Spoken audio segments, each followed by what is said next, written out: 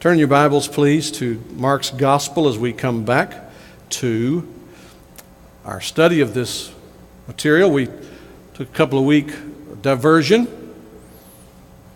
to examine a portion of Second Kings and ask the question of one another, do what do you see? Because the disciples in Mark chapter 9 had seen something very amazing. We call the episode the Jesus on the Mount of Transfiguration. And we looked at that a few weeks ago. And I want us to turn our thoughts today to Mark chapter 9, verses 9 to 13, as we, we think about the cost of sharing the gospel. You may have noticed if you read through Mark that Jesus has begun revealing himself and he's begun telling them it's going to be difficult, it's going to be rough, it's going to be deadly to identify with me. It has been, as people in the past have identified with God. It's going to get increasingly so, identifying with Jesus as the Son of God. Mark chapter 9, verses 9 to 13. I hope you found that in your Bible. If you don't have your Bible, we have the text on the screen, but we really want to give you a Bible. And so if you would see us after the service, we'll make arrangements for that. If you'd stand with me and follow along as I read this passage, Mark 9, verses 9 to 13, reading from the English Standard Version. And as they were coming down the mountain, he charged them to tell no one what they had seen until the Son of Man had risen from the grave from the dead. So they kept the matter to themselves, questioning what this rising from the dead might mean. And they asked him, Why do the scribes say that first Elijah must come? And he said to them, Elijah does come first to restore all things. And how is it written of the Son of Man that he should suffer many things and be treated with contempt? But I tell you that Elijah has come. They did to him whatever they pleased as it is written of him. This is what? That is the infallible, all sufficient Word of God. Let's tie some things together. They saw Elijah with Jesus on the Mount of Transfiguration. I asked you last couple of weeks, what do you see? Then today, let's think about not only the cost of discipleship that Jesus has already laid out, but the cost of sharing the gospel. Thank you. Be seated. Well, you may recall, it's been a few weeks now, but he took Peter, James, and John up onto this mountain. We call it the Mount of Transfiguration. Uh, the, one of the significant things about it, where it is located, it's located on the other side of Jordan. And there, Moses and Elijah show up. And it's, it's interesting to me, I think it bears observing that Moses had been prohibited from going across into the land beyond the Jordan. And yet, coming back, he is there in that very land on a mountain with Jesus, he and Elijah fellowshipping with Jesus. And, and they talked, remember, about, I told you that time there's a Greek word that's used in, in, in Mark. They spoke of his exodus, his, his exodus. Just as Moses had been involved in an exodus, Jesus was going to be involved in an exodus. He was going to lead captivity captive. He was going to bring many sons to glory through his suffering and death and burial and resurrection and ascension. Well, after that experience there, Peter said, This, this is wonderful. this is what life ought to be like. Let's just stay here. Now, it's commendable that he was so captivated by what he saw, but it was pretty selfish because there's a whole lot of people not on the mountain that he should have been concerned about as well. And, and so that's when God breaks in, remember, and he says, This is my beloved Son. Listen to him. The implication being, you don't need to make things up, Peter. We don't, we don't need your ideas. We really have this already figured out. Just listen to him and follow him. Hear his voice, do what he says. And so they're coming off the mountain now. And you see this interesting exchange. I, I to unpack it for you just quickly today under four headings. First, Jesus' unusual request. Second, the disciples' confusion concerning the resurrection. Third, the disciples' unusual question concerning Elijah. And fourth, Jesus' response. It's a, it's a warning concerning coming suffering. It's good for us to hear this today, I think. Let's look first of all at this unusual request. They're coming off the mountain. They've just seen the most amazing thing they've ever seen. In fact, we believe Jesus shows this to them so that they will be convinced He is the Christ, He is the winner, No matter what happens in the future, He rules and overrules. He is greater than anything they've ever contemplated. He is greater than all the prophets. He is greater than the law. He is greater than the covenants. He is greater than the promises because He is the fulfillment of all of these. He will be greater than Caesar. He'll be greater than Herod. He'll be greater than Pontius Pilate. He is the greatest of all. They're coming off this mountain. And you'd want to share that. And Jesus makes this request. He charged them to tell no one what they had seen until the Son of Man had risen from the dead. He gave them a peek into future glory, a little glimpse of heaven, if you please. And yet, this was not a message that they were to share until after, it tells them, until after I've risen from the dead. Now, he's, he's referenced his death at the hands of, of cruel men, at the hands of the religious elite. He's referenced that already, that he will die, he'll suffer and die and rise again. But this time, coming off the mountain, when he says, Until I've risen from the dead, that catches them. So the second thing you see here is that this confusion they have. Verse 10 so they kept the matter to themselves. In other words, they, they did as they were told, kept the matter to themselves, questioning what this rising from the dead might mean. What is. What's, it, what's entailed in that? What, what would bring it to pass, what would bring to pass the necessity for him to rise from the dead? There was a Jewish teaching that in the, in the last day there would be this sort of general uh, resurrection to face a judgment. And the Jews understood that what would happen is that they, as Jews, would be vindicated by Jehovah, the judge, and that all the enemies of the Jews would be eradicated. No doubt that's running around in their minds. What is, what is the meaning of this rising from the dead? So they still don't get it. But I'll re- remind you that when you read through the Gospels and you get to the crucifixion and you get to the resurrection and you're heading into the book of Acts, you'll, you'll read sometimes that these, then they remembered. Then they remembered when he said that there's some things that, that the Holy Spirit then takes and clarifies and applies and opens up and, and makes sense of it. But this didn't make sense to them. He's standing before them right now. They know that he has made the religious people angry. They know that. They're, they're sensing the intensifying of that, uh, of that antagonism. And he's told them before that he will, he will suffer at the hands of the pre- priest and the scribes. But they cannot wrap their minds around him rising from the dead. Because they still can't conceive that if he is who he says he is, and they, they believe in some level that he is, they cannot believe that he would be killed. And they cannot believe that the, that the very people, the scribes, the priests, the Pharisees, the Sanhedrin, the, the religious bodies of the day who, who spent their time teaching the Jewish people not to give up because one was coming who would deliver them. They found it hard to believe that if he was indeed the deliverer, how could it be that the religious people would kill him? So they're confused about this, and we don't need to begrudge that. We would have been too, particularly in light of what they just saw. They saw him fellowshipping with Moses and Elijah. For crying out loud, what, what in the world could overcome him? If he communes with the departed men of God. The third thing, though, we're getting into the, the meat of the passage here.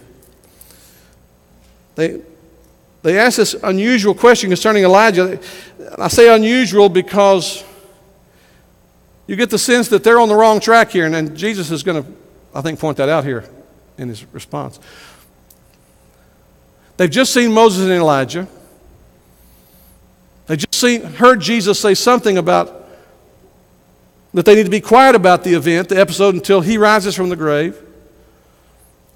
And I, am just going to conjecture that having seen Elijah, having heard Jesus speak of something that sounds very apocalyptic, it, has, it has real overtones to it to end times.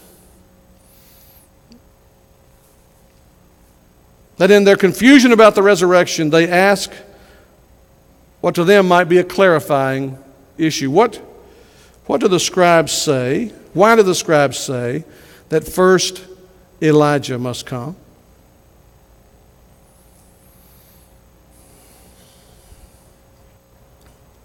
Why, why is that a, an indicator that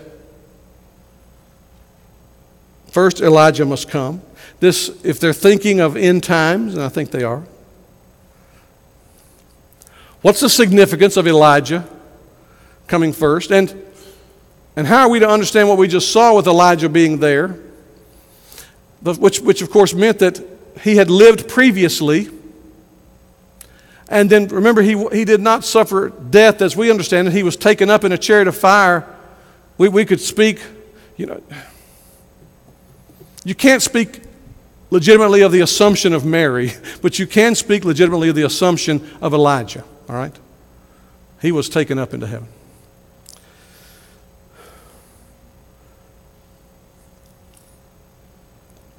They're referencing or at least have in their minds, I think, Malachi 4, 5, and 6, chapter 4, verses 5 and 6. Behold, I will send you Elijah the prophet before the great and awesome day of the Lord comes.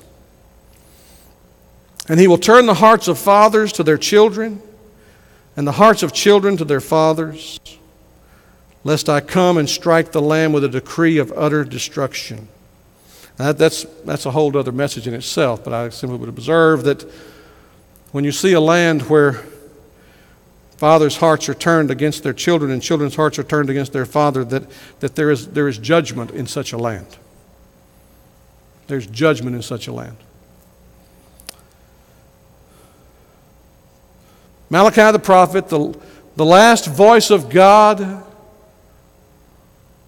who would be silent for 400 years following this until John the Baptist breaks on the scene, calling for repentance because the kingdom of God is at hand. The last voice through the prophet Malachi says, I will send you Elijah the prophet. He had already come and been assumed into heaven. What is this talking about? And of course, there's a couple of different perspectives on this.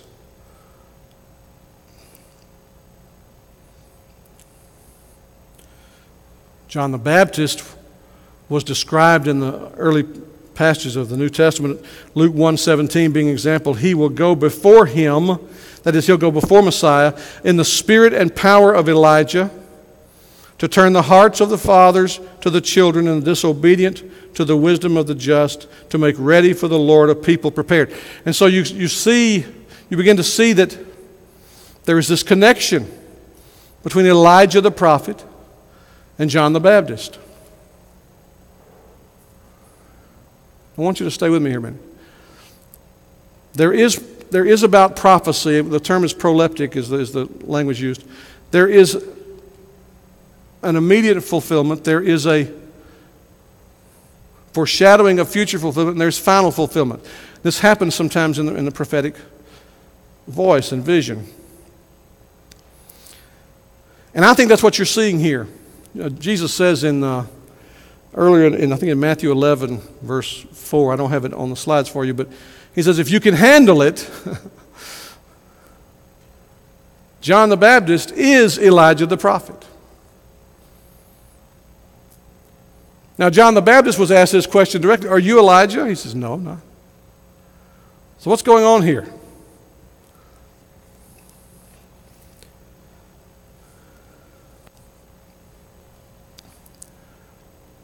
I think the way you've got to see this Elijah came. He ascended in the chariot of fire, which, which in the mind of a Jew meant he could, he could come back. They would think that more of him than they could of Moses. Even though Moses died, we know he died, and, and, and the Lord took care of his burial. They, they could see Elijah coming back. so there was this, when they, when they understood the prophecy of Malachi, they looked for Elijah to come back. And the one who comes is John the Baptist. He comes in the spirit and power of Elijah.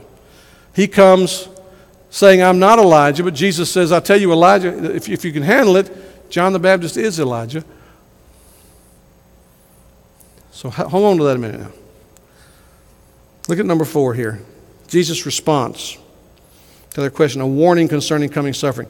He said to them, Elijah does come first to restore all things. All right, hold, let's just jump down to, the, to verse 13. But I tell you that Elijah has come, and they did to him whatever they pleased, as it is written of him. Okay, biblical background here. 2 Kings chapter, uh, 1 Kings chapter 18 and 19. You need to read that sometime. Uh, it's, it's the fascinating story of Elijah's encounter uh, with, uh, with Ahab and, and Jezebel. Jezebel has the prophets of God slaughtered. Uh, you, if you know that relationship at all, Jezebel and Ahab, Ahab was, was a wimp of incredible proportions. He is, he is the picture uh, example of what Robert Lewis refers to in men's fraternity as the soft male. He, Jezebel runs over him. He's a, he's a puppet king as far as that goes. And she had the prophets of God slaughtered because they didn't, she didn't like the message they were giving about, about their relationship, hers and Ahab's relationship. And there's this encounters with, with Elijah and Ahab. And in some areas, Ahab is, is scared to death. And then in other things, Elijah is scared to death. He's, he's, he's terrified of Jezebel. You'll remember the encounter up on, the, up on Mount Carmel with the with the prophets of Baal. There's, we're told there's like 400 prophets of Baal and I think 450 prophets of Asherah. And they, they gather, and Elijah says, Let's find out whose God is the real God here. And so they build an altar. And they place a bull on it. And basically, the, the contest is whoever can call down his God first to consume the sacrifice, it'll be proven that this is the true and living God and that your, your gods, Baal, the Baals, are false gods. And so it's set up. You remember the story, no doubt. Everything's set, and Elijah says, No, this, this really not, this is not ready yet. So they dig a trench around the altar.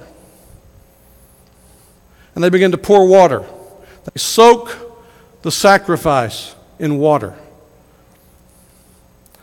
I would submit to you that they did not have an instrument to set that sacrifice on fire. By the time it got through, the water filled up the trench.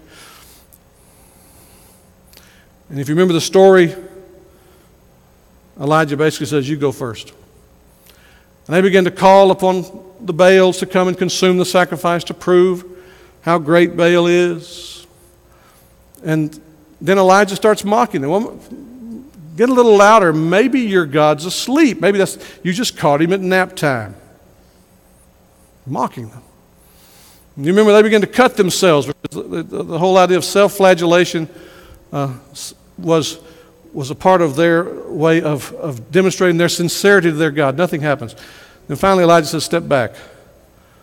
And he asks the Lord to show himself to be God. And he consumes this soaked sacrifice. And he has the prophets of Baal rounded up and he has them executed. And then Jezebel sends out the message that just as we did to the prophets of the Lord, and just as you've done to the prophets of Baal, may it be done to me if I don't have your head soon. And Elijah runs and hides, remember? The angel of the Lord shows up. What are you doing here, Elijah? He says, Well, I'm the only one left. he says, No, there's a great multitude preserved. And so that's the background to Elijah. He was indeed persecuted. When, when Jesus said, verse 13, I tell you, Elijah has come, and they did to him whatever they pleased, as it is written of him. He was hunted, and he would have been executed had the Lord not protected him and then finally taken him to heaven in a chariot. John the Baptist moved forward. He's preaching, he's, he fears no man. He looks at the religious leaders when they come down by the riverside. Who, who told you to flee the wrath to come, you vipers? He angers the religious leadership. He angers Herod. Stands outside the palace, accusing him of adultery, having his brother's wife. He's thrown in prison, but everybody who's around him is, is terrified of him. We've already read the narrative where the young lady danced a provocative dance, and Herod was, we probably intoxicated and caught up with her and I'll give you anything you want up to a certain portion of my kingdom. And she said, I want the head of John the Baptist. And, and, it, it terrified Herod. And at one point, when Jesus is making himself known, Herod is terrified that John the Baptist has come back to life, just as he feared. So you have this experience that Elijah has where he is, he is persecuted and hunted. You have this experience that John the Baptist had where he is, he is thrown in jail and executed.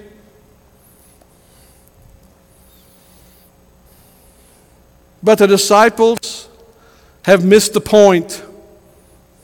Look at verse 12. He said to them, Elijah does come, first to restore all things. In verse, verse 13, I tell you, Elijah has come. But look at the rest of this in verse 12. And how is it written of the Son of Man that he should suffer many things and be treated with contempt? You see, basically what he's saying there is you need to be more concerned about how I am treated than you do about the timing of Elijah's coming. Because how he is treated is a foretaste of how anyone who identifies with him will be treated. He's already taught them the cost of following him. If anyone will come after me, he says earlier, let him deny himself, take up his cross, and follow me. But that's the cost the person personally is willing to endure. I'm going to deny myself. I'm going to submit to hardships. What he's talking about here is the external pressure. He will tell them in another place if they treat the master of the house this way, how do you think they'll treat his servants? And it's a call to his disciples to get their heads in the game, focused on the right thing.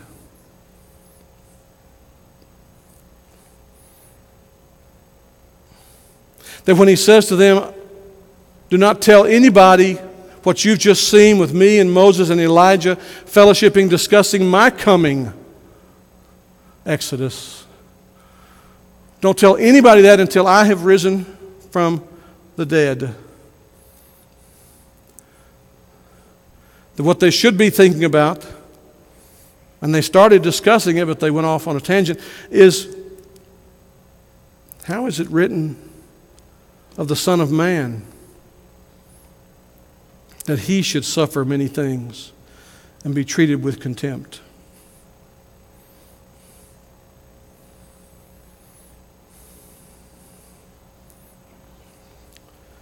It should take them back to think about what's promised of Elijah.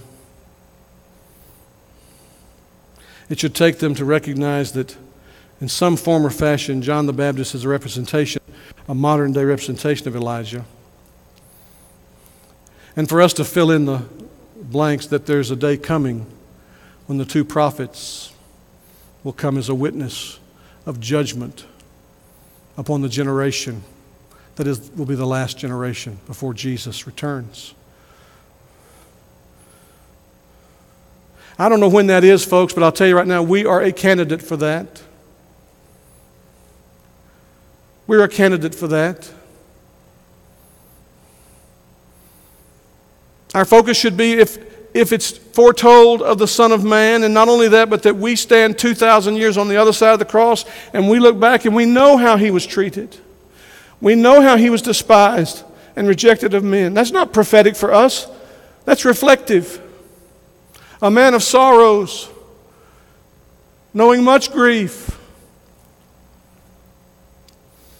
That if they would do that to the darling Son of God who identified himself as the Son of Man, what do you think they will do to those who insist that he is the only way?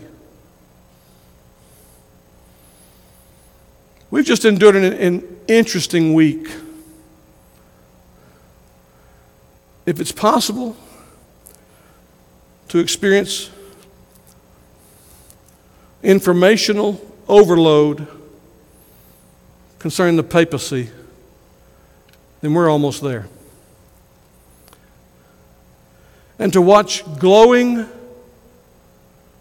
expression after glowing expression, do you realize that the only thing in recent memory that has brought liberals and so called conservatives together is their adoring praise of Jorge Brugliosa.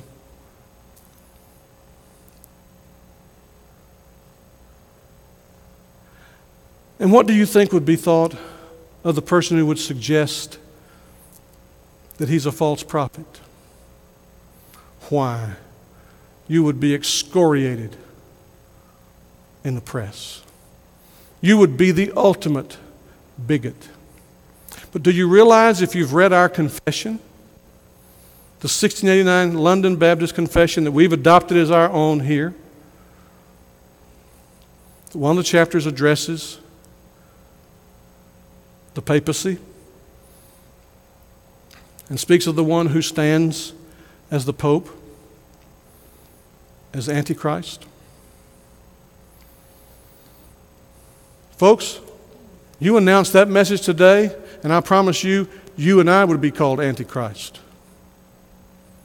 You and I would be called blasphemers. You and I would be the bigots. We would be the modern day atheists in this cultural religion.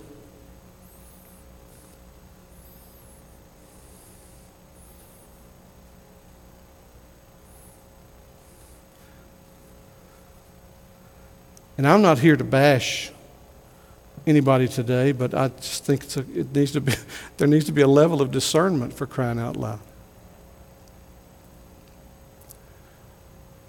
The person who assumes the title of Pope in the Roman Catholic Church, which boasts 1.1 billion adherents around the world, and says that you and I are lapsed Catholics. That's what we are lapsed Catholic. Well, I've never been a Catholic. You're a lapsed Catholic. When he takes that position, he takes upon himself the title, the Vicar of Christ. When you unpack what that means, it means that he is the human representation of Jesus Christ on the earth. He is the shepherd who stands as the great shepherd. And why do I tell you that today? Because there is religious pluralism abounding in the land. And it has room for everything except the person who will say that Jesus is the way, the truth, the life. Out of the mouth of the Pope at the prayer gathering in New York City, he said he wanted to pray for all of his brothers and sisters in Islam in the light of the destruction that befell more than 700 when they trampled one another to death in Mecca this past week. I pray for Muslims. I pray for the adherents of Islam. But I do not pray for them because they are my brothers and sisters. I pray for them because they need my Lord and Savior, Jesus Christ. They wanted to chat about the sequence of the coming of Elijah. Jesus said, How is it written of the Son of Man that he should suffer many things and be treated with contempt? It's his message to them that if you share this message, Jesus is the Son of God and Son of Man. He is the only Savior of sinners. And no one can have access to God, whatever you call Him, no one can have access to God except through Jesus Christ by repenting of sin and trusting in Him. And that message today, I submit to you, in this pluralistic religious culture, is hate speech. The message of the love of God shown to sinners in sending his darling Son to live the perfect life, keeping the whole law, coming in the fullness of time to die in the place of sinners, rising from the grave, ascending on high, praying even now for his own, and coming again one day, that message is considered a bigoted message. It is already against the law in some European countries to preach that message. And if the experience of Kim Davis in Kentucky tells us anything, it tells us that religious, pluralistic America has no room for a message that is exclusive. And yet our Savior said, I am the way, the truth, the life. So, how should we live in times like these? I'll tell you what we need to do. We need to love sinners as sinners. We need to be not, not bashful, need to be unashamed to share the glorious gospel of Jesus Christ. Because let me tell you the good news. I'm reading two books right now. One's entitled Dreams and Visions, one's entitled Killing Christians, written by the same fellow, about a movement that is taking place in Europe and the Middle East where Muslims are coming to faith in Jesus Christ at record numbers. Islam has failed them. Islam has turned on them. They're empty, they're hopeless. And in, and in ways that are amazing to me, I, can't, I won't go into today, but they are having encounters with Jesus and are seeking out the people who follow Jesus to say, Tell me what this means. One of the great perpetrators who has taken glee and delight in killing children as he serves ISIS has fled for his life, seeking refuge, being shared the gospel of Jesus Christ because he discovered that his life was offensive to Jesus. There's a great movement going on, folks. Don't give up. Don't get discouraged. It's going to get darker here. That's okay. We have a God who's always been with us and has promised he'll be with us to the end. Take the good news of Jesus Christ. You may not see the person immediately respond. What, what we're hearing from overseas is that multitudes, a lot of the refugees who are flooding into Europe, are leaving Islam and encountering the glorious gospel of Jesus Christ, crucified and risen. If we can look beyond our present circumstances and see the bigger picture, what we see is something more glorious than Jesus and Moses and Elijah standing on the mountaintop transfigured. We see the resurrected, reigning, ruling, soon returning Jesus Christ calling men and women from every tribe and nation and tongue to himself. Let's purpose to be a part of that. To be disciples who go with the glorious good news to make disciple makers and see what God will do, how He will bless your life and bless us as a fellowship. Let's pray together.